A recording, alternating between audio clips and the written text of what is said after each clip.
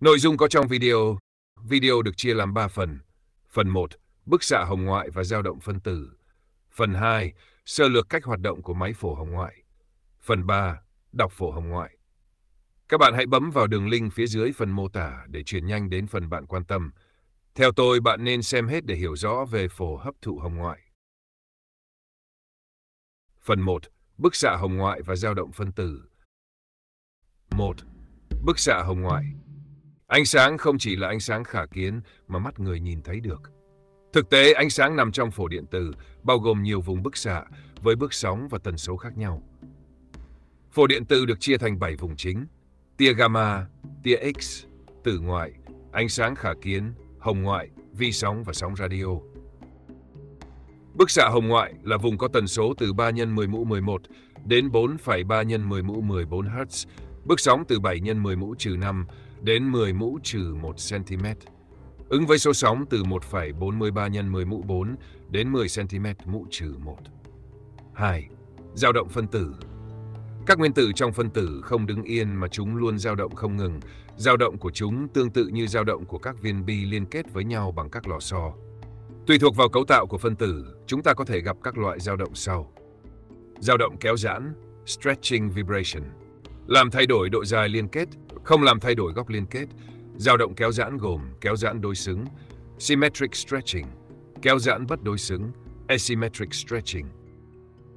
Dao động uốn cong, bending vibration, làm thay đổi góc liên kết, không làm thay đổi độ dài liên kết. Dao động uốn cong gồm dao động cắt kéo, scissoring, dao động đu đưa, rocking, dao động vặn xoắn, twisting, dao động vẫy đuôi, wagging. Ví dụ, phân tử nước có 3 kiểu dao động sau, kéo giãn đối xứng, symmetric stretching, kéo giãn bất đối xứng, asymmetric stretching, dao động cắt kéo, scissoring. Các dao động kéo giãn và uốn cong của hầu hết liên kết như CH, OH, NH, C liên kết đôi O, vân vân, có số sóng nằm trong khoảng từ 4.000 đến 400 cm mũ trừ 1.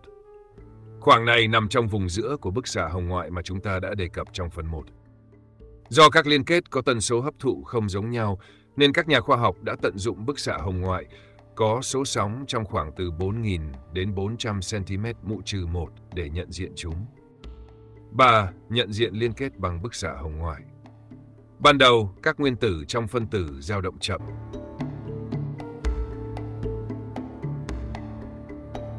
Bây giờ, ta sẽ cho một chùm hồng ngoại đi qua mẫu phân tích. Chúng ta thấy mẫu phân tích đã hấp thụ một phần bức xạ hồng ngoại, làm liên kết dao động mạnh hơn. Các bạn đừng để ý đến dao động của liên kết, hãy để ý đến chùm hồng ngoại đi ra khỏi mẫu phân tích. Nhận thấy chùm hồng ngoại sau khi qua mẫu phân tích có cường độ giảm so với ban đầu.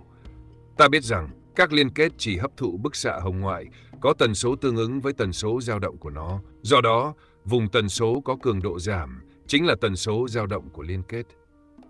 Việc đo đạc cường độ bức xạ hồng ngoại và tính toán để cho ra phổ hấp thụ hồng ngoại là nhờ các cảm biến, bộ xử lý, vân vân trong máy quang phổ mà chúng ta sẽ tìm hiểu ngay sau đây. Phần 2. Sơ lược cách hoạt động của máy phổ hồng ngoại. Lưu ý, trong thực tế, các máy có cấu tạo phức tạp hơn rất nhiều, cách bố trí các thiết bị quang học có thể khác nhau tùy loại máy. Sơ lược cách hoạt động của máy phổ hồng ngoại tán sắc. Sau khi đèn hồng ngoại hoạt động, hai chùm tia hồng ngoại đi đến các gương M1 và M2.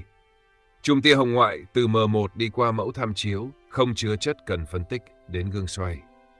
Khi gương xoay ở vị trí 1, chùm tia này sẽ đi thẳng đến bộ tách tia rồi đến bộ phát hiện, còn gọi là đầu giò. Chùm tia hồng ngoại từ M2 đi qua mẫu phân tích, chứa chất cần phân tích và bị hấp thụ mất một phần. Các bước sóng bị hấp thụ phụ thuộc vào cấu tạo của chất cần phân tích. Khi gương xoay ở vị trí 1, chùm tia hồng ngoại ra khỏi mẫu phân tích đến gương M3, rồi đi thẳng mà không đi vào bộ tách tia. Khi gương xoay ở vị trí 2, chùm tia hồng ngoại ra khỏi mẫu tham chiếu bị chặn. Chùm tia hồng ngoại qua mẫu phân tích sẽ đến được bộ tách tia và đến bộ phát hiện. Bộ tách tia có tác dụng tách chùm hồng ngoại đi vào thành các giải hồng ngoại có bước sóng khác nhau. Khi lăng kính quay, tia hồng ngoại đi qua khe hẹp, rồi đến bộ phát hiện sẽ có bước sóng xác định. Trong thực tế, bộ tách tia là một hệ thống quang học phức tạp hơn rất nhiều. Ở mỗi bước sóng xác định, bộ phát hiện sẽ ghi nhận hai tín hiệu, một tín hiệu khi gương xoay ở vị trí số 1 và một tín hiệu khi gương xoay ở vị trí số 2. Các tín hiệu này sẽ được chuyển đến bộ xử lý để phân tích. Bộ xử lý nhận tín hiệu từ bộ phát hiện, khuếch đại chúng, rồi chuyển thành tín hiệu số.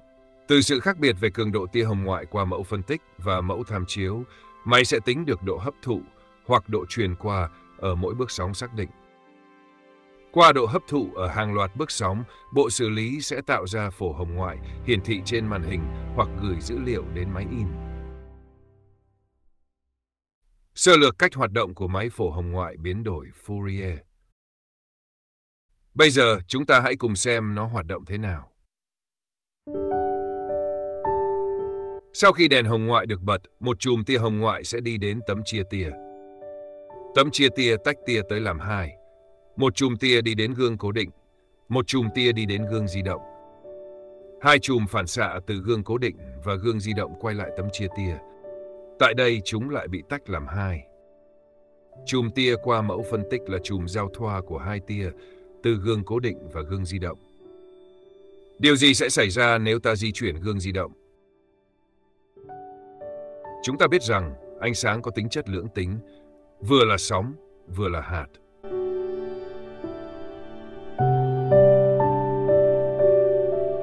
Bây giờ ta sẽ cho gương di động di chuyển về phía tấm chia tia. Các bạn hãy chú ý đến cường độ ánh sáng giao thoa đi qua mẫu phân tích.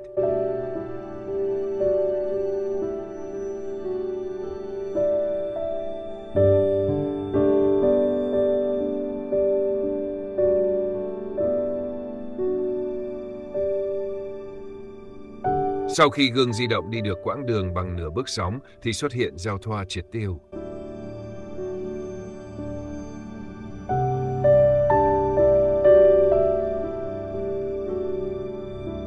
Sau khi gương di động đi được quãng đường bằng bước sóng thì xuất hiện giao thoa tăng cường. Bộ phát hiện ghi nhận tín hiệu giao thoa rồi chuyển đến bộ xử lý. Bộ xử lý sẽ sử dụng biến đổi Fourier để chuyển giao thoa đồ sang phổ hồng ngoại. Vừa rồi là cách thức hoạt động của hai loại máy khá phổ biến theo từng giai đoạn. Hiện nay, máy quang phổ hồng ngoại biến đổi Fourier đã gần như thay thế hoàn toàn máy tán sắc vì có độ nhạy cao và tốc độ nhanh hơn. Phần 3. Đọc phổ hồng ngoại 1. Phổ hấp thụ hồng ngoại là gì? Phổ hấp thụ hồng ngoại là biểu đồ cho thấy tần số ánh sáng hồng ngoại bị hấp thụ bởi các liên kết hóa học trong phân tử. Lưu ý, các bạn đừng nhầm hấp thụ là hấp phụ. Trục tung là độ truyền qua, transmittance, hoặc độ hấp thụ, absorbance. Trục hoành là số sóng hoặc bước sóng. Thang đo thường từ 4.000 đến 400 cm mũ trừ 1.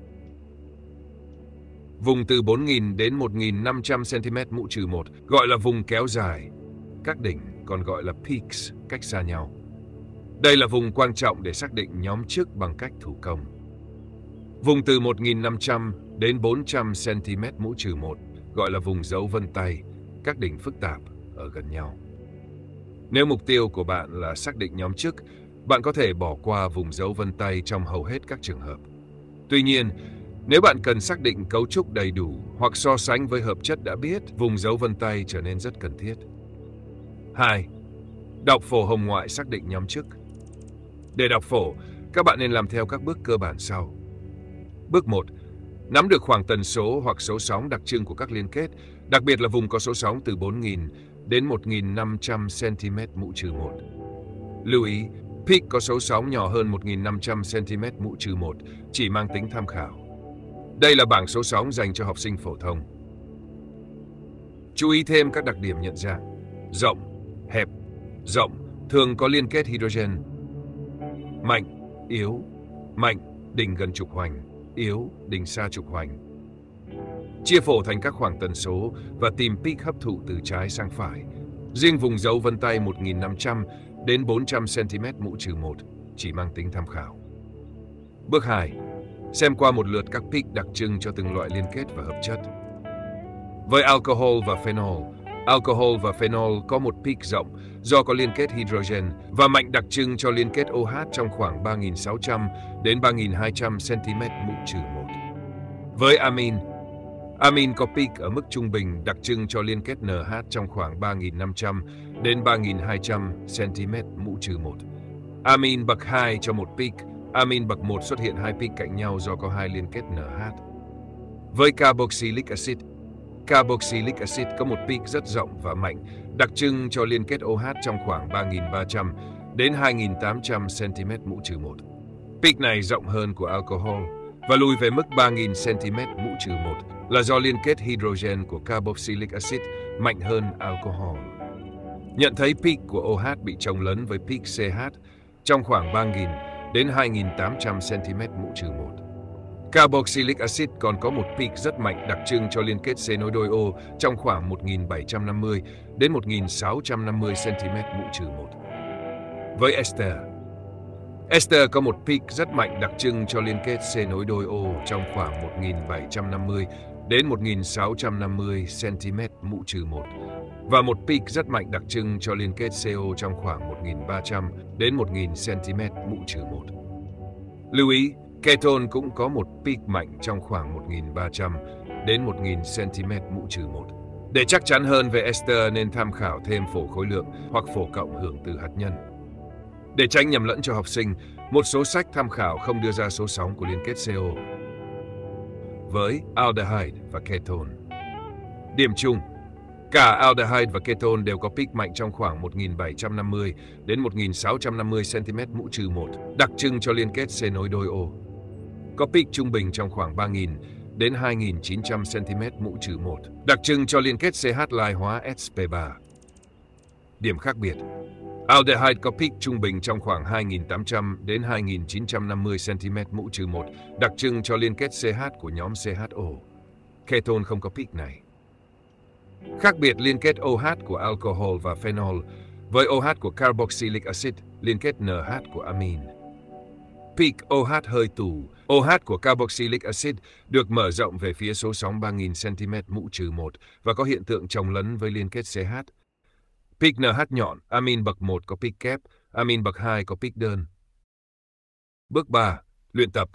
Sau mỗi câu hỏi các bạn hãy nhấn nút stop, chọn đáp án của mình trước khi xem đáp án. Dạng 1. Nhận diện số sóng đặc trưng của liên kết. Bài tập 1. Liên kết OH trong alcohol thường xuất hiện ở vùng số sóng nào sau đây?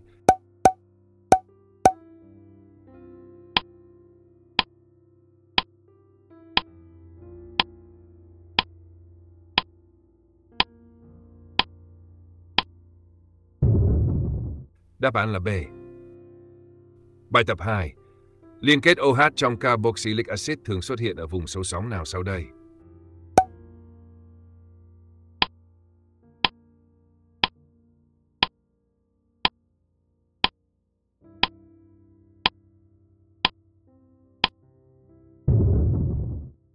Đáp án là A.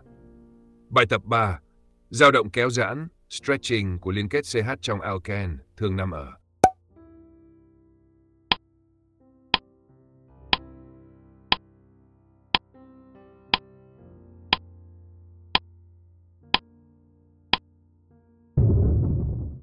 Đáp án là A. Bài tập 4. Liên kết NH trong amin thường xuất hiện tại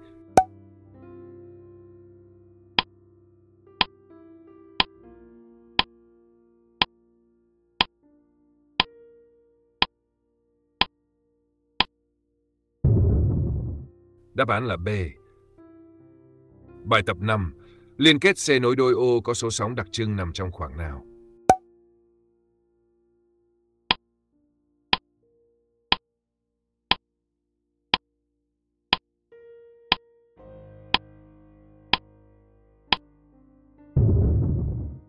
Đáp án là A. Bài tập 6. Một peak mạnh có số sóng 1260 cm mũ trừ 1. Điều này cho ta biết trong phân tử có liên kết nào.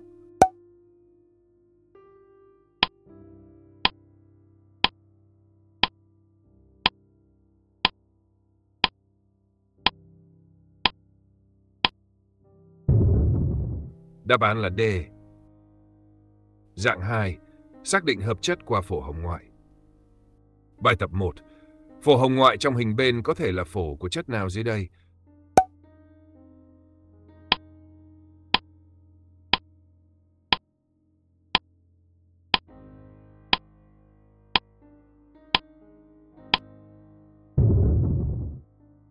Xuất hiện peak rộng, mạnh và tù trong khoảng 3.200 đến 3.600 cm mũ trừ 1 của liên kết OH. Loại C và D không thấy peak trong khoảng 1750 đến 1.650 cm mũ trừ 1 của liên kết C nối đôi ô. Loại A và nhận B. Bài tập 2. Phổ hồng ngoại trong hình bên có thể là phổ của chất nào dưới đây?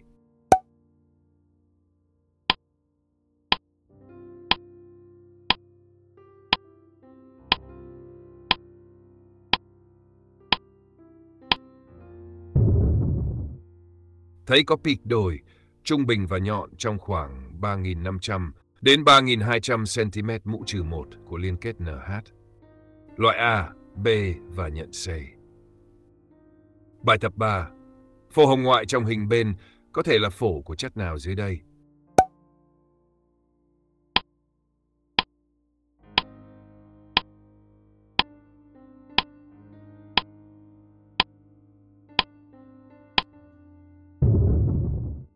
Thấy một peak mạnh trong khoảng 1.750 đến 1.650 cm mũ trừ 1 của liên kết C nối đôi O, loại B và C. Thấy một peak rộng, mạnh và chồng lấn trong khoảng 3.300 đến 2.800 cm mũ trừ 1 của liên kết OH, loại D và nhận A. Bài tập 4.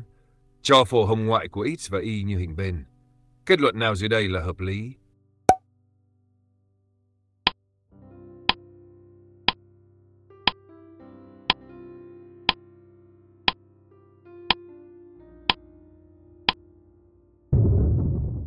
Ta nhận thấy cả X và Y đều có một peak mạnh trong khoảng 1750 đến 1650 cm mũ trừ 1, đặc trưng của liên kết C nối đôi ô.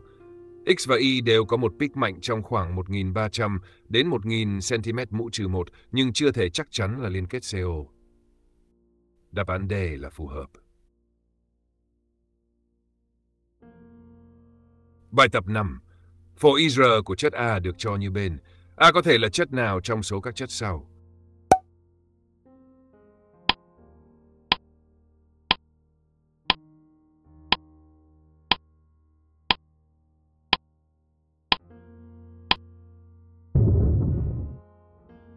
Không thấy peak mạnh trong khoảng 1.750 đến 1.650 cm mũ trừ 1, đặc trưng của liên kết C nối đôi O. Loại A, B và D Đáp án C là hợp lý vì có một peak trung bình ở 3.821 cm mũ trừ 1, đặc trưng cho liên kết NH. Bài tập 6. Dưới đây là ảnh phổ hồng ngoại của hai trong số 4 chất sau. 1, 2, 3, 4. Theo bạn, hai ảnh phổ cho là của chất nào?